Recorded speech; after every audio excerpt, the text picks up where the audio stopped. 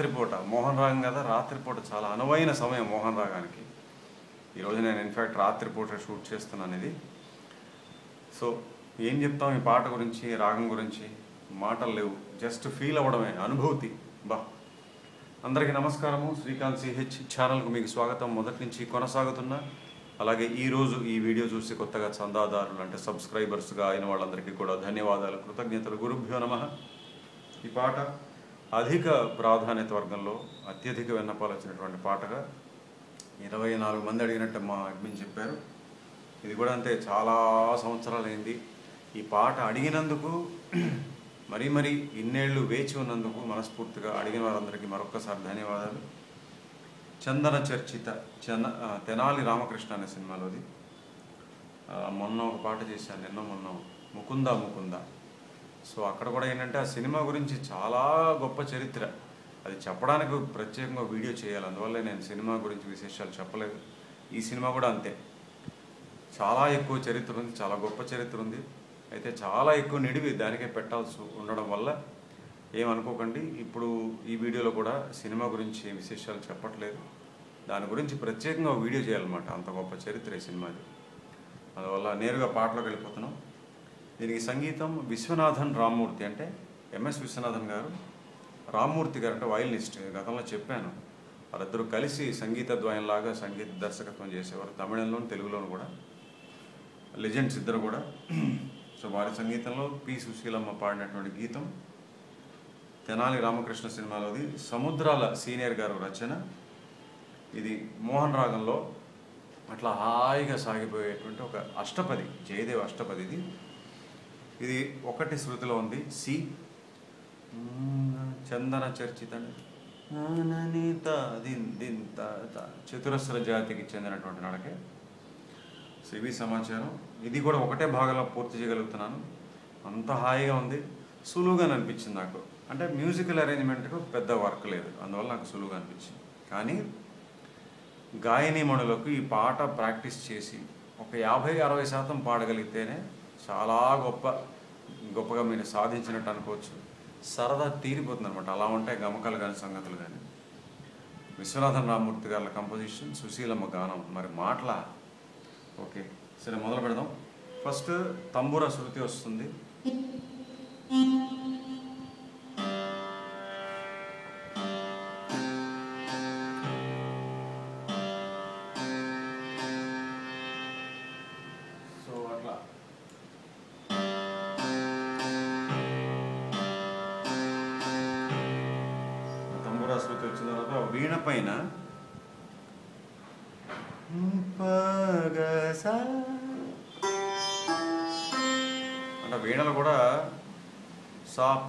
Card C major కార్డులో notes ఇచ్చారు. ప గ సా. అంటే ఆ తాళం లాగా అనమాట బిట్ మొదలెట్టే ముందు ఒక చిన్న తాళం లాగా ఇచ్చి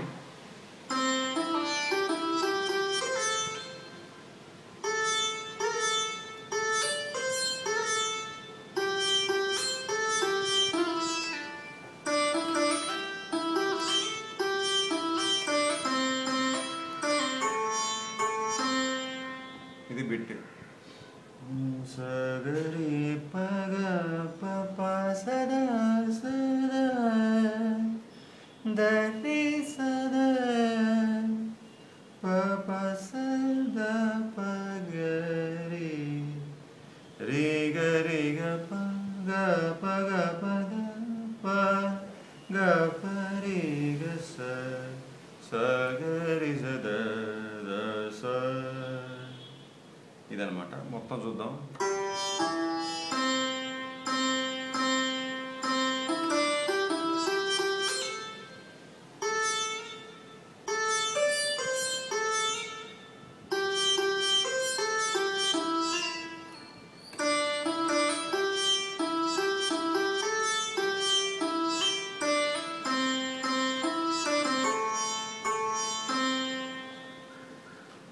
మీరు చూస్తే హరికాంభోజి జన్యం కదా మోహన? చాలా స్పష్టంగా ఆ నీ వంతో గమకం ఉంటుంది. అలాగే గా కూడా ఆ మా వంతో గమకం. ఓకే. ఓకే ఇక్కడ నుంచి యాడ్ లిబ్ అంటే టెంపో రిధం ఉండవు. సుశీలమ్మ గారు యాడ్ లిబ్ పాడతారు. సంథింగ్ లిరిక్ గుర్తులేదు.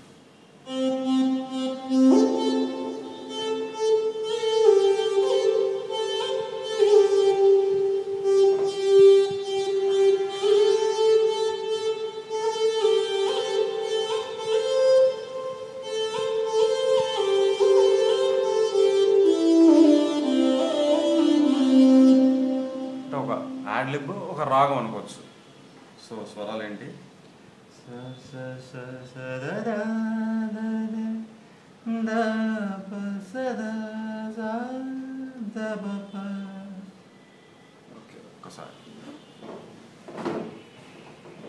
okay sa sa sa sa sa sa sa da da da da da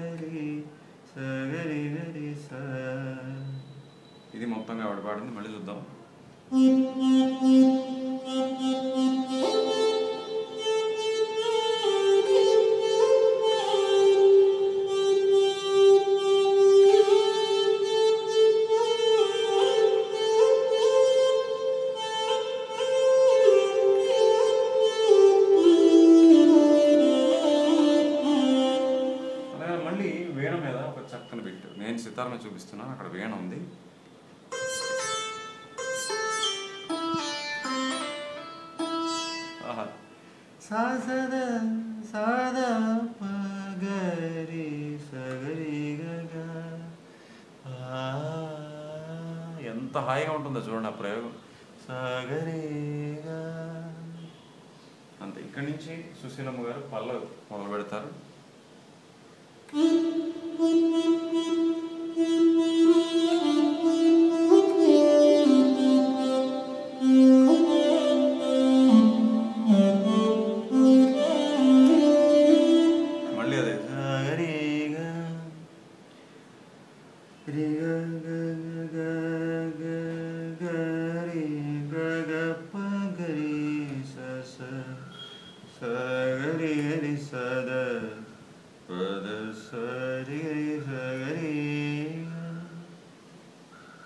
ఇక్కడి నుంచి కొనసాగిస్తారు. తబలా నడక ఇక్కడి నుంచి మొదలవుతుంది. రెండోసారి పాడినప్పుడు ఒక సంగతి.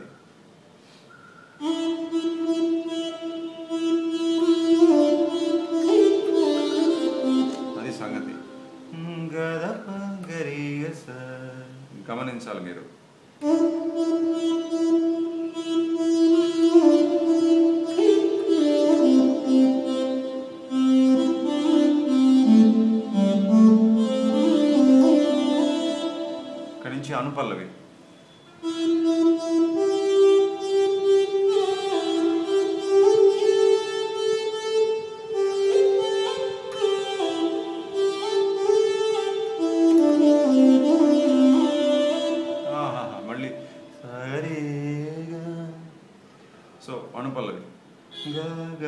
pa pa pa pa ga pa pa da da pa pa da pa da da da da pa sa da sa pa ga ga pa da pa da pa ga re sa re sa re ga aha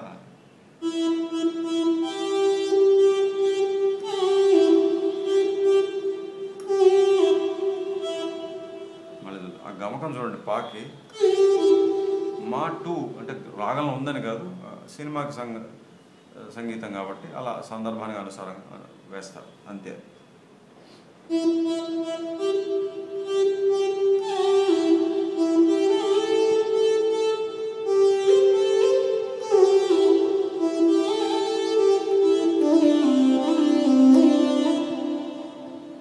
ఇక్కడి నుంచి మళ్ళీ పల్లవి.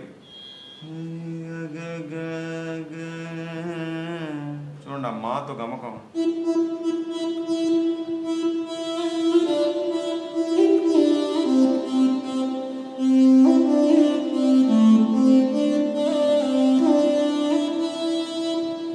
చిన్న తేడా ఇక్కడ ఏంటంటే పద పద కాకుండా సరి సరి రే అని ఆపేశారు ఇక్కడ. అంటే ఇంక రెండో సంగీతం మొదలవుతుంది కాబట్టి ఇక్కడ ఇట్లా ఆపారు.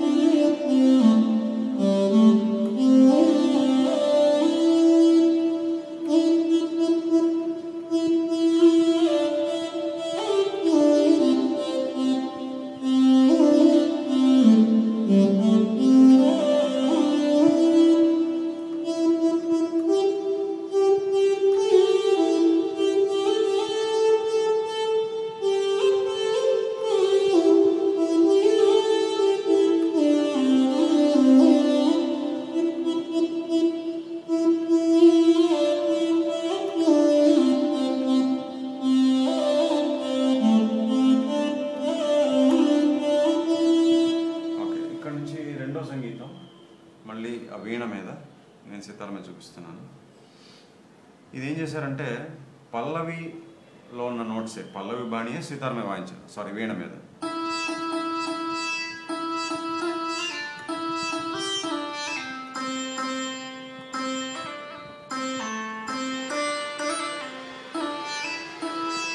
ఆ చిన్న తేడా ఏంటంటే సుశీల్ గారు పాడినప్పుడు రే సగరి రే గ అని ఇచ్చారు. ఇక్కడ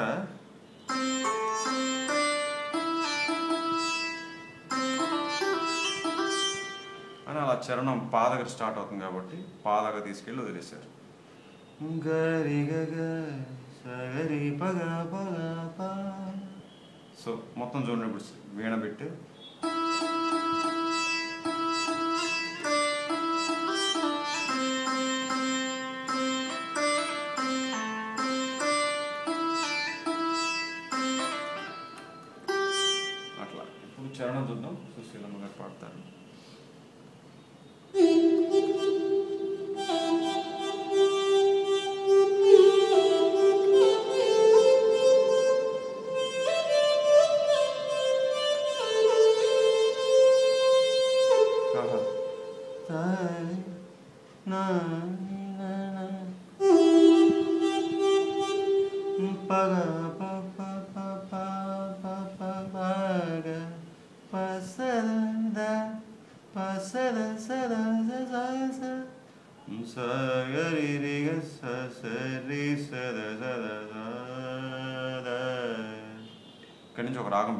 మళ్ళీ ఈ లైన్ చూద్దాం.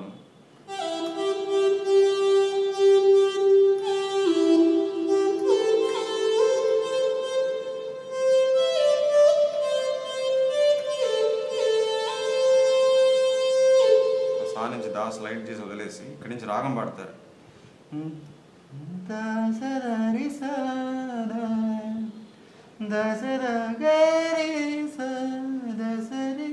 దసరి రి స సగరి పగ దబ దద స ఆహా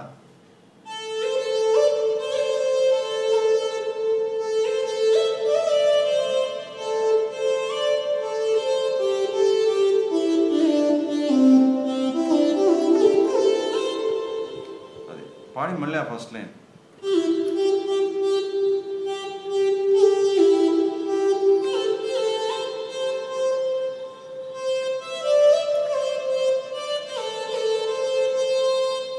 చేశారంటే ఇంకా దాకి స్లైడ్ చేయకుండా సా దగ్గర వదిలేశారు. అర్థమైంది కదా? సేమ్ లైన్ అంతా అదే. తర్వాత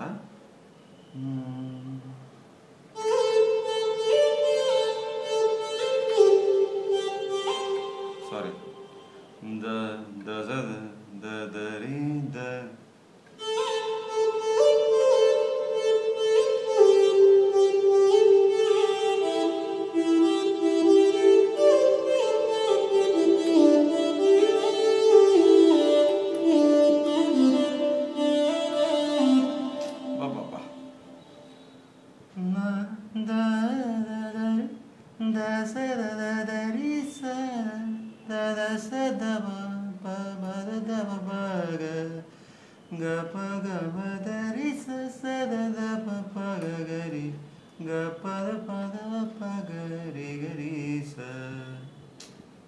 ఇక్కడ ఇలాంటి లైన్లు పాడినప్పుడే సరదా తీరిపోతుంది ఎంత కష్టంగా ఉంది చూడండి ఇది.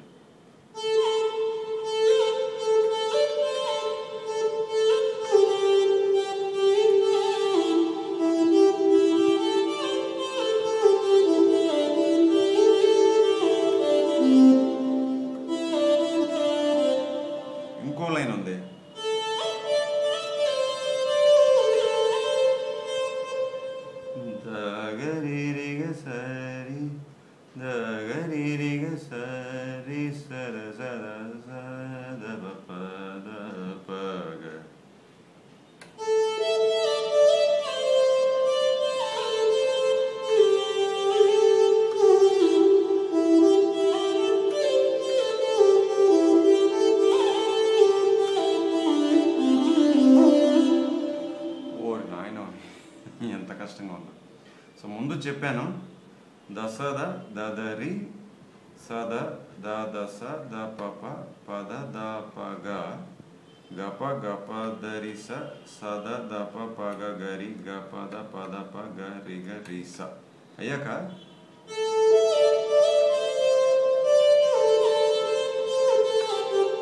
మళ్ళీ చూద్దాం.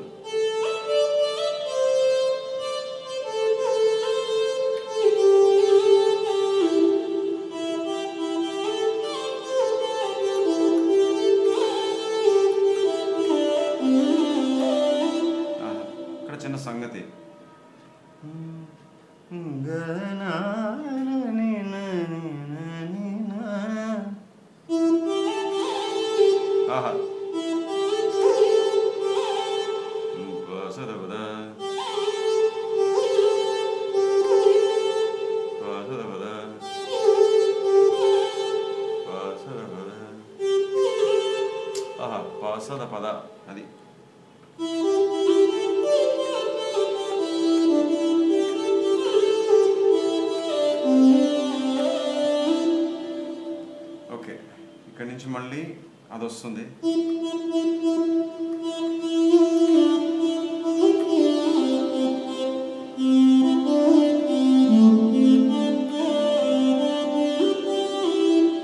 తర్వాత సంగీతం స్టార్ట్ అవుతుంది. అందుకని ఏం చేశారంటే రీ రీ రీ రీ రీ రీ పా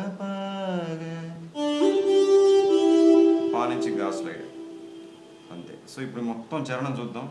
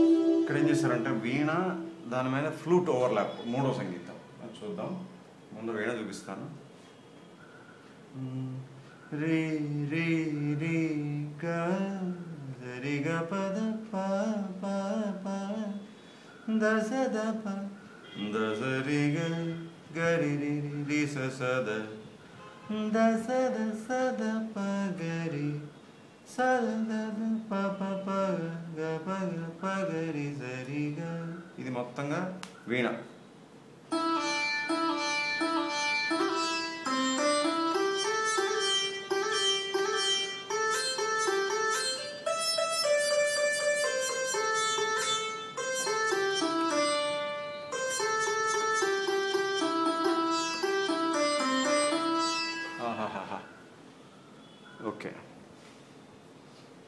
ఫ్లూట్. ఫ్లూట్ అంటే జస్ట్ లాంగ్ నోట్స్ ఇచ్చారనమాట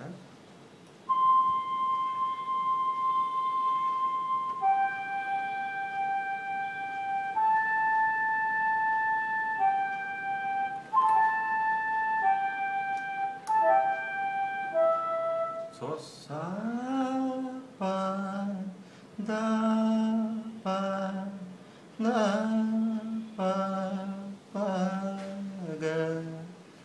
వెనకాల వస్తుంటే దీనిపైన ఆ వీణ పెట్టిందా చూపించాను అది.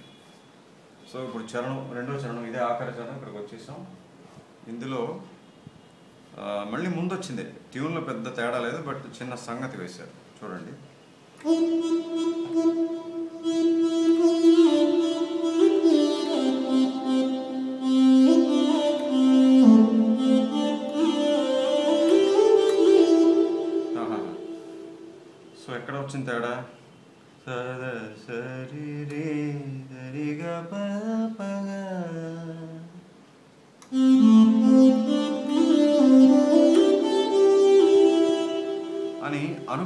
అనుపల కంటిన్యూ చేశారు ఇక్కడ నుంచి బాణి. ఎలా?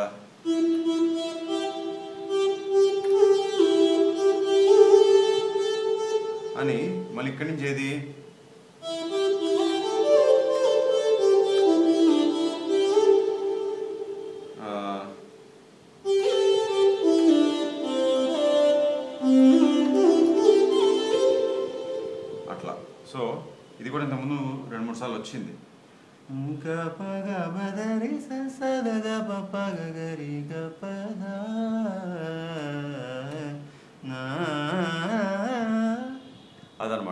వచ్చిందే గప్ప గప్ప దరిస అనేది ఇంత ముందుదే బట్ ఎండింగ్ వచ్చేప్పటికి ఈ రాగంతో మళ్ళీ పై షడ్జం అనేది తీసుకెళ్ళారు గమనించాలి మీరు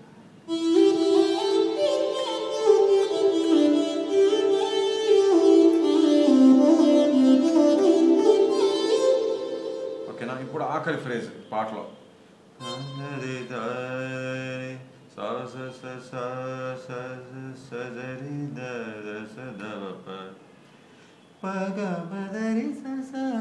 మళ్ళీ అదే ఫ్రేజ్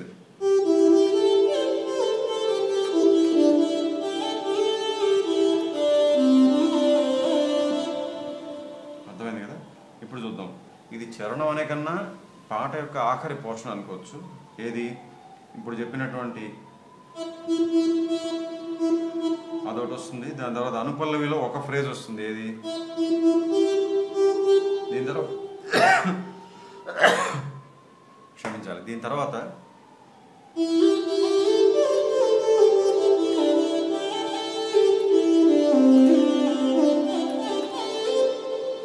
అని ఆ గప గప ధరిస్తే అదంతా అయిపోయాక సగ రీప గప సారీ సగ రీప గద పసదస అని పై షడ్జం మనకి వెళ్ళడం. అక్కడ మళ్ళీ ఒక ఫ్రేజ్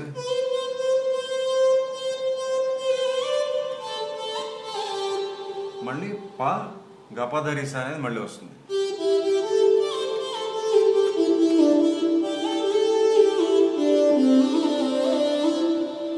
ఇదంతా ఒకసారి వాయించేస్తాను. అప్పుడు ఇంకా ఆఖరి అంటే ఆ పాట ఆపేసేప్పుడు సుశీల్ గారు అట్లా పాట చూపిస్తే అయిపోయినట్టు ఇంక ఈ పాట. సో ఇది చూద్దాం.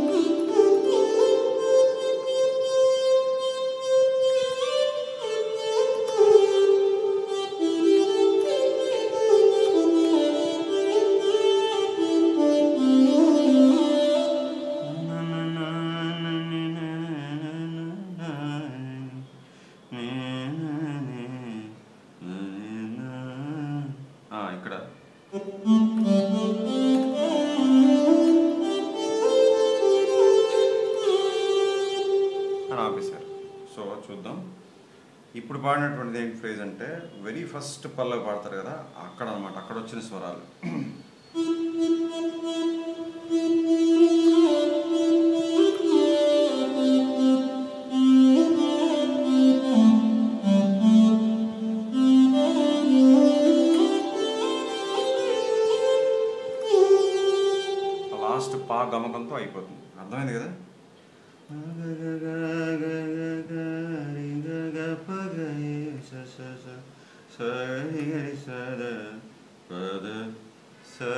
సరి గ పద సప సదా సప. ఇదనమాట ఆఖర్లో దీంతో పాట పూర్తయిపోతుంది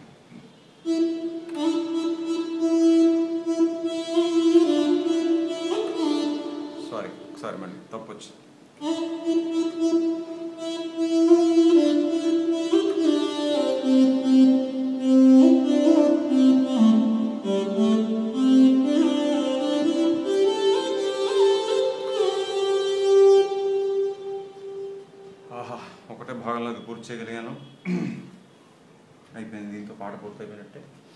రేపటి వీడియోలో మళ్ళీ వరుస సంఖ్య ప్రకారం ఏదైతే విన్నపం ఉందో క్రమంలో ఏదైతే వస్తుందో ఆ పాటతో మళ్ళీ మీ ముందుకు వస్తాను. అంతవరకు చక్కగా ఈ పాట ప్రాక్టీస్ చేసుకోండి. ముఖ్యంగా గాయని మణులు ప్రాక్టీస్ చేయాల్సిన పాట ఇది. మళ్ళీ రేపు కలుద్దాం. అంతవరకు సెలవు నమస్కారం.